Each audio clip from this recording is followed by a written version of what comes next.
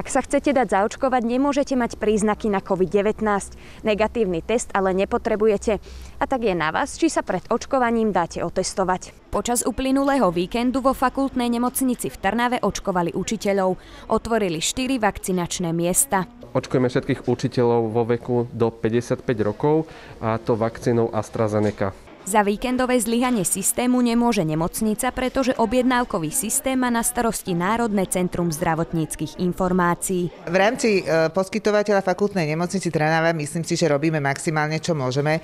Čo sa týka objednávania pacienta, ide to trošičku mimo nás. Nemocnica dostala pokyny, podľa ktorých postupovali pri očkovaní a logistike. Riaditeľia škôl dali e, všetkým učiteľom, ktorí mohli byť očkovaní, e, registračný formulár a potvrdenie o tom, že sú zamestnancami danej školy. Tieto údaje nahrali do systému, podľa ktorého v nemocnici vedeli všetky informácie o daných učiteľoch, ktorí sa chceli dať zaočkovať. Vytvorili i harmonogram a tak každému učiteľovi pridelili čas, kedy má prísť na očkovanie. Vo fakultnej nemocnici naskladnili 4000 dávok vakcín určených práve pre učiteľov.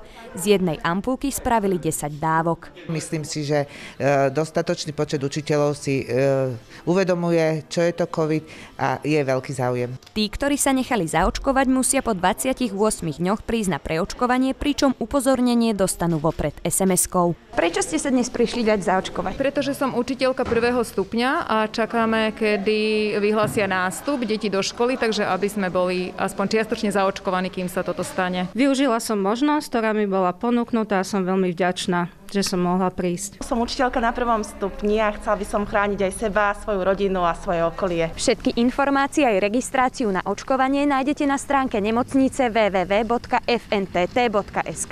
Rebeka Rišková, Mestská televízia Trnava.